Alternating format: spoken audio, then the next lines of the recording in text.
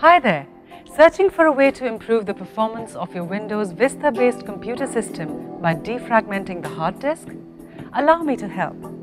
At iYogi, we constantly work towards helping you achieve a smooth computing environment. Computers tend to slow down if the hard disk contains fragmented data.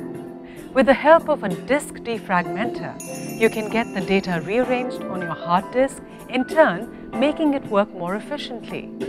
So here's how you can improve the performance of your Windows Vista-based PC by defragmenting the hard disk. Follow me. Click on the Start button. Click on All Programs. Go to Accessories and select System Tools. Click on Disk Defragmenter.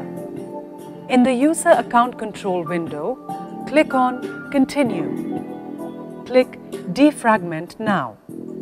Wait for the completion of the defragmentation process and then click on OK.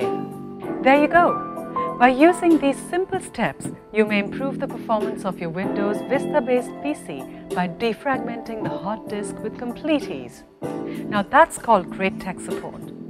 At iYogi, we're always here to help you get more out of your PC along with its related software and programs.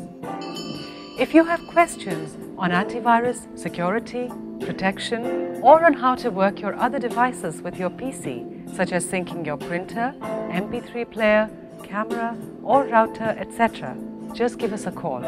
We'd be delighted to help. Go ahead, have fun with your PC. Good karma.